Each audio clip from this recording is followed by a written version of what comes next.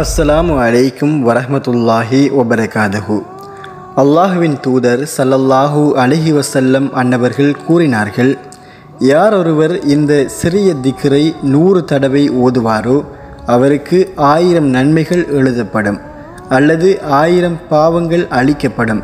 இந்த விவரிப்பு முஸ்லிம் நபிமொழி தொகுப்பில் பதிவு செய்யப்பட்டுள்ளது. அந்த அற்புதமான துவாவானது சுபஹானல்லாஹ்.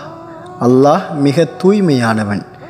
தொடர்ந்தும் இந்த சுபஹானல்லா திக்ரை ஓதுவதால் நாம் அடையக்கூடிய பலன்களை அறிந்து கொள்ளலாம்.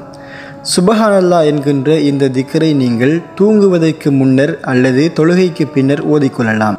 நபிமகளார் ஃபாத்திமா ரலியல்லாஹு அன்ஹா அன்னவர்கள் தனது தந்தையிடம் வந்து வீட்டிற்கு உதவி செய்ய ஒரு வேலையாள் வேண்டுமென கேட்டு வந்தபோது இந்த சுபஹானல்லா திக்கரை தூங்குவதற்கு முன் ஓதச் சொன்னார்கள். இந்த திக்கரின் பலன் ஒரு வேலைக்காரன் நமக்கு உதவி செய்வதை விட சிறந்தது என கூறினார்கள். அல்லாஹுவினுடைய உதவி நமக்கு கிடைக்கும் என்பதே இதன் விளக்கமாகும். சுபஹானல்லா என்பதை தாண்டி சுபஹானல்லாஹி ஒபி ஹம்திஹி என யார் அல்லாஹுவை புகழுவாரோ அவருக்காக சொர்க்கத்தில் ஒரு மரம் நடப்படுகிறது.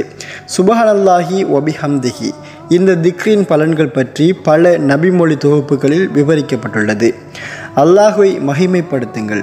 சுபஹானல்லாஹி ஒபிஹம்திஹி என யார் ஒருவர் பகலில் நூறு முறை ஓதுவாரோ அவருடைய பாவங்கள் கடல் நுரை அளவில் இருந்தாலும் அளிக்கப்படும் அபூதர் அலி அல்லாஹூ அன்ஹு அன்னவர்கள் அறிவிக்கிறார்கள் நபிகள் நாயகம் சல்லல்லாஹூ அலஹி வசல்லம் அன்னவர்கள் ஒருமுறை வந்து உங்களுக்கு அல்லாஹிற்கு மிகவும் பிடித்தமான ஒரு திகரை கற்றுத்தரட்டுமா என கேட்டு இந்த சுபஹானல்லாஹி ஒபிஹம்தி என்கின்ற துவாவை கற்றுக் கொடுத்தார்கள்.